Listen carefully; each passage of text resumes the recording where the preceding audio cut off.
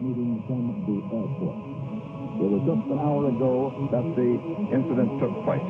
We have just learned that Father Huber, one of the two priests called into the room, has administered the last sacrament of the church to President Kennedy. We just have a report from our correspondent, Dan Rather in Dallas, that he has